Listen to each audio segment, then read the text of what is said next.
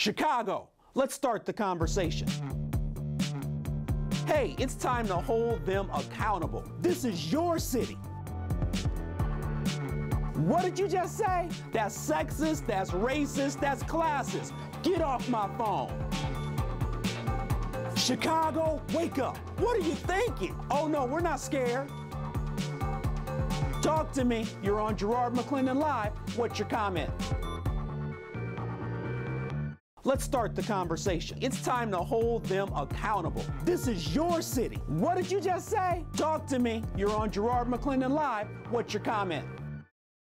Chicago, let's start the conversation.